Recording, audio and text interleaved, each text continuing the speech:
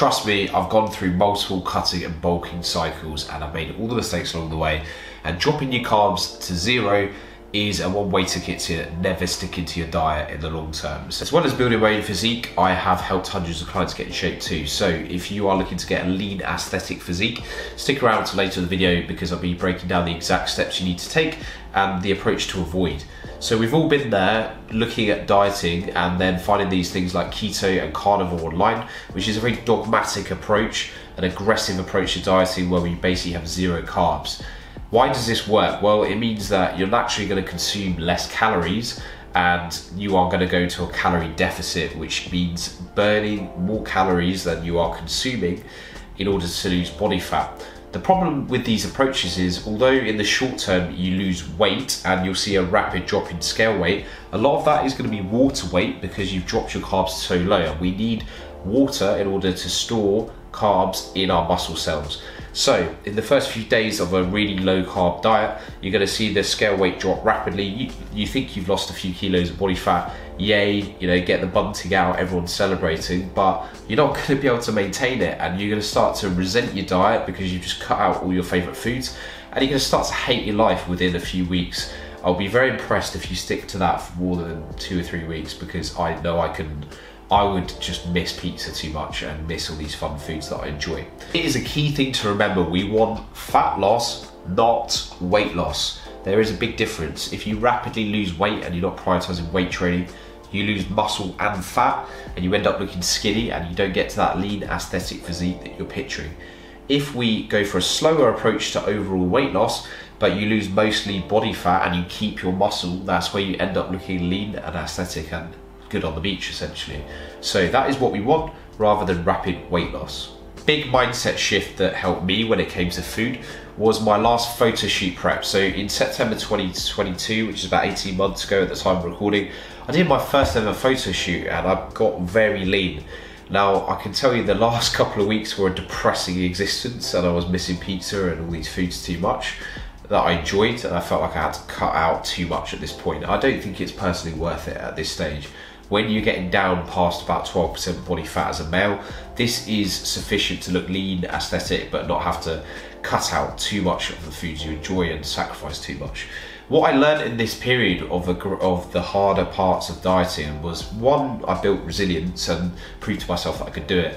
But most importantly, I flipped my mindset when it came to food and I started viewing it more as fuel. So carbs are a way to fuel your gym performance and having carbs is a good thing. You need to be keeping your carbs as high as you can, even in a cutting phase, and maximizing those carbs around your training. So, for example, having a bit of fruit or easy to digest carbs before you do your workout, using caffeine where you need to to maintain your training performance.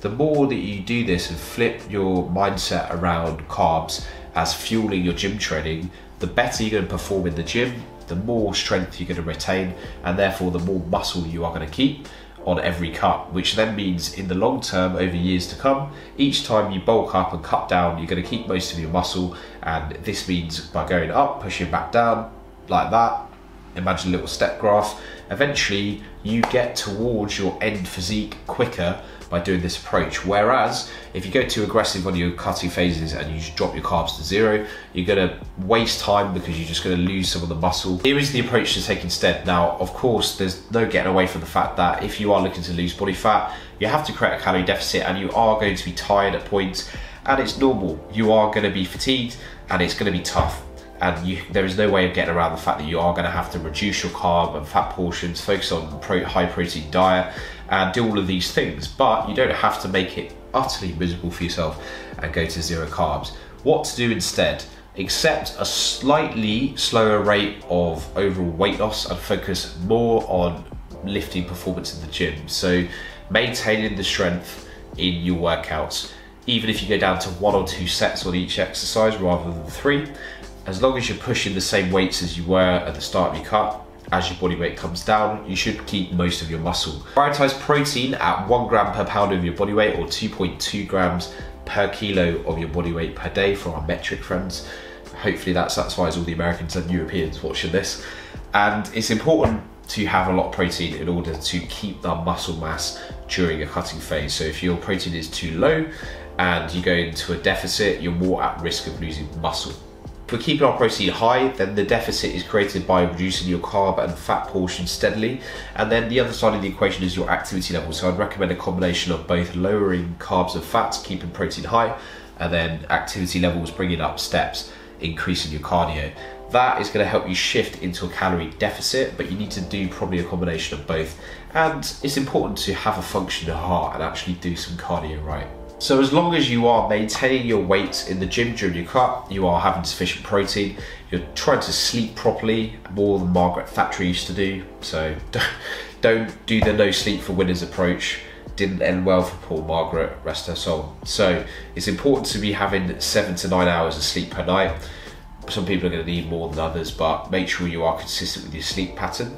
So sleep sufficiently, get enough protein in, train hard in the gym, and you will therefore keep most of your muscle mass, look lean and aesthetic, and get to the physique that you want. And I promise you that you'll be more likely to retain this physique in the longer term rather than doing these aggressive, terrible diets.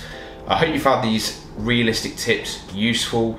And if you're new to the channel, make sure you hit subscribe because if you don't hit subscribe, you're not going to get that shape you want. And I'm giving you tips every single week to get to your dream physique quicker. So be a no-brainer. So make sure you hit that subscribe button, like the video, and I'll see you on the next one, my friends. See you later.